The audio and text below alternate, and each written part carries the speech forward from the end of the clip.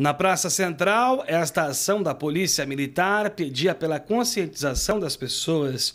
Os policiais exibiam cartazes pedindo para que todos permanecessem em casa.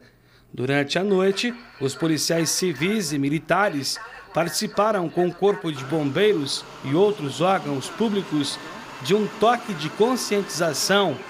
Com sirenes ligadas e carro de som, as forças percorreram vários locais da cidade tem como objetivo a conscientização da população para que fiquem em casa, para que evitem aglomerações, para que evitem sair de casa é, de forma desnecessária para esse trabalho de prevenção do coronavírus. Nas entradas da cidade, a polícia e os agentes do Depadran auxiliaram os agentes de saúde da Secretaria Municipal nas barreiras de controle de fluxo a fiscalização começou às 18 horas da última sexta-feira. São quatro pontos de acesso a Pato Branco por rodovias que estão sendo monitorados. Esse aqui na Reta Grande, na saída para Itapejara do Oeste, na rodovia PR 493. Os agentes distribuíram panfletos com orientações.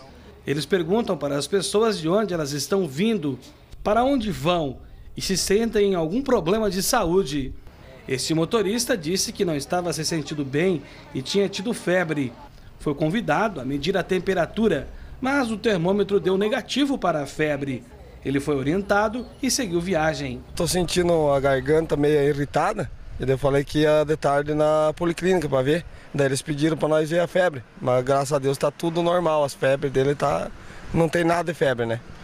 Mas mesmo assim vai verificar, hein? Ah, sim, sim, vou garantir, né? Porque não dá para ficar brincando com essas coisas, né? Interessante a iniciativa do pessoal aí? Com certeza. É assim que a coisa funciona, senão nós estamos perdidos, né? Se ninguém juntar junto as coisas aí, dá difícil as coisas, né?